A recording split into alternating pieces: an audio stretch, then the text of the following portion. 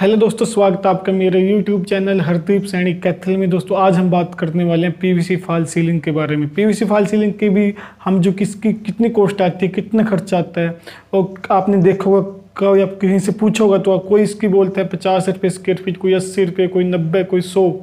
तो ये सब अलग अलग क्यों बोलते हैं, क्या इसमें क्या फ़र्क होता है?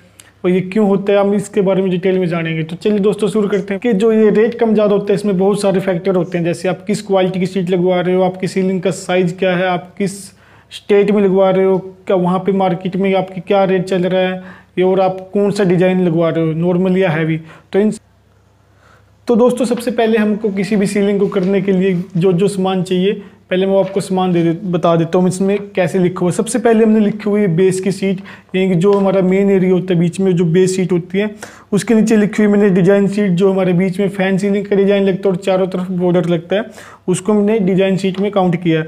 उसके बाद लगता है हमारा चैनल चैनल के साथ हमारी होती है फ्रेमिंग फ्रेमिंग में आपको दिखा दूँगा कि कैसे फ्रेमिंग होती है वो फ्रेमिंग उसके बाद हमारी होती है यू मोल्डिंग का यूज़ होता है, जो हमारे कॉर्नर होते हैं उसको कवर करने के लिए। उसके बाद हमने लिखी हुई है लेबर उसके बाद हमने लिखी गिट्टी पेज फेविक को हमने एक ही जगह पे, ताकि ज़्यादा लंबी ना बने, उसमें लिखा है। तो सबसे पहले मैं आपको दिखा देता हूँ कि अगर हमारे रूम का साइज़ नौ बाई आठ है, यानी नौ फीट की उसकी लंबाई है, आठ फीट की चौड़ाई है तो उसका कितना खर्चा आएगा? तो इस मान मैंने यहाँ पे लिख दिया है, सारा का सारा आप खुद चेक कर सकते हैं। तो इसका जो टोटल कॉस्ट आई है दोस्तों, इसकी टोटल कॉस्ट आई है आपकी बावन सौ रुपये तो इसकी कॉस्ट आई आपकी बावन सौ रुपये ऐसे ही सेम अगर हम 10 बाई 10 का रूम लेके चलें और अगर उसमें हम सिंगल सीलिंग करें सिंगल सीलिंग में आपको दिखा देता हूँ, जिसमें हमारा चारों तरफ़ पट्टा नहीं लगता है कंप्लीट बीच, एक ही कलर की सारी सीलिंग होती है और बीच में एक सीलिंग का सिंपल डिज़ाइन होता है।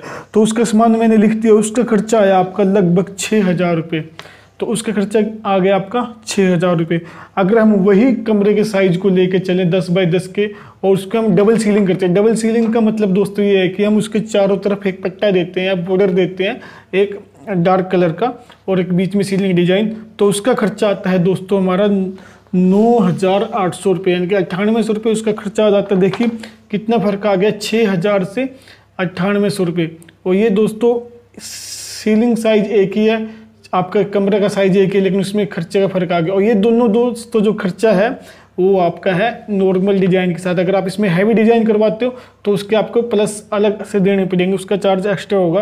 वो कितना खर्चा होगा, वो आपके डिज़ाइन पे डिपेंड करता है। उसके बाद दोस्तों, मैंने एक एग्ज़ाम्पल और लिया है। अगर मान के चलो आपके कमरे का साइज़ बारह बाई बारह का है, और तो उस उसमें हमको कम से कम खर्चे में हमको वो सीलिंग आप करवाना चाहते हैं तो उसके लिए हमको, क्योंकि हमारी सीट की एक लेंथ होती है दस फीट की तो हमारा कमरे का साइज़ हो गया दोस्तों बारह बाई बारह मतलब सीट हमारी रहेगी यहाँ पे कम तो इसको कवर करने के लिए हम यहाँ पे दो साइड का पट्टे दे देंगे, जैसे कि आप देख सकते हैं फ़ोटो में बैक साइड में इस पट्टे देने के बाद हमारा जो खर्चा आता है बारह बाई बारह का वो आता है नौ हज़ार रुपये एक सीलिंग का। और लेकिन अगर हम इसी कमरे के इसी साइज़ को हम चारों तरफ़ का पट्टा देते हैं तो आपका खर्चा आ जाएगा दोस्तों ग्यारह हज़ार रुपये, यानी कि दो हज़ार रुपये का यहाँ भी फ़र्क आपको देखने को मिल जाएगा।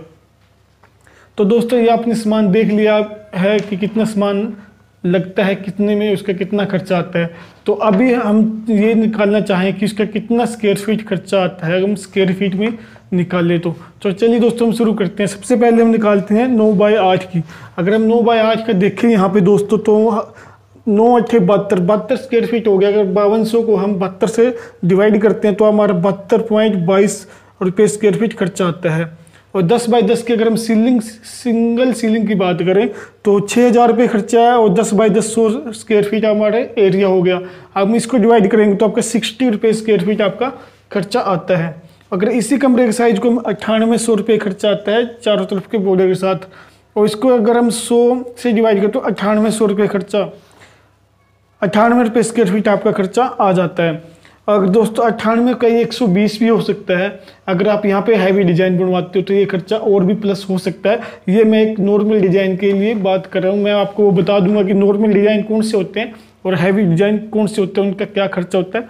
अगर आप वो देखना चाहते हैं, उसकी भी वीडियो जल्दी आने वाली है तो चैनल को सब्सक्राइब कर लीजिए और वीडियो को लाइक कर दीजिए। तो अगर अब नेक्स्ट हम चलते हैं बार बार के कमरे में, जिसमें हमने दो साइड का बॉर्डर दिया है तो उसका खर्चा आ गया है दोस्तों हमारा अगर हम नौ हज़ार को एक सौ चवालीस से भाग देते हैं तो आ गया सिक्सटी 52.5 यानी कि बासठ रुपये स्क्वेयर फीट खर्चा आपका यहाँ पे देखने को मिल जाएगा।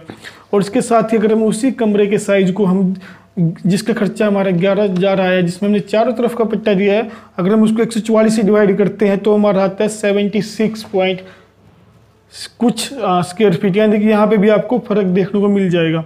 और ये दोस्तों जो मैंने यहाँ पे खर्चा बता, बताया है, यहाँ पे हमने जो बेस की सीट ली है, वो सिल्वर लाइन यानी कि सबसे लाइट वेट की ली है, और जो डिज़ाइन की जो हमने सीटें ली है, वो मिड वेट की लिए यानी कि जो हमारा रॉयल क्वालिटी में आती है। अगर आप इसको सारे को हैवी में लेना चाहते हो तो आपका पाँच रुपये स्क्वायर फीट इसमें सब में प्लस हो जाएगा।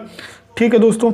और ये मुझे लगता है कि आपको अंदाज़ा हो गया होगा कि कितने रुपये स्क्वेयर फीट आता है, उसका क्यों फ़र्क होता है?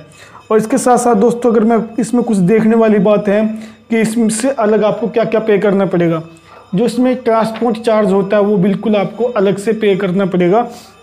जो हैवी डिज़ाइन होते हैं, अगर आप हैवी डिज़ाइन इसमें बनवाते हो तो उसका भी आपको चार्ज अलग से देना पड़ेगा, क्योंकि इसमें आपके लेबर बहुत ज़्यादा लग जाती है, क्योंकि इसमें बहुत ही ज़्यादा टाइम लगता है। जो टाइम कंज्यूमिंग होता है तो इसलिए इसके जो भी इसमें आपको इलेक्ट्रिकल चार्ज है, वो अलग देने पड़ेगा। दोस्तों, इसमें इलेक्ट्रिकल चार्ज कुछ भी इंक्लूड नहीं होता है। ना ही उसकी लेबर होती है इंक्लूड ना ही उसका सामान। वो सब कुछ आपको अलग से करवाना पड़ेगा। अगर आप इसमें से इंक्लूड करवाना चाहते हैं तो वो आपको पहले से ही बोल के उसमें ये कंफर्म कर लेना चाहिए। और दोस्तों, जो इसमें गोड़ी और जो पैडी का हम यूज़ करते हैं लगाने के लिए सीलिंग को, वो भी आपको ही प्रोवाइड करवानी पड़ती है। या आप किराए पे लेके आए या आपके घर पे हो तो वो भी चल जाएगी।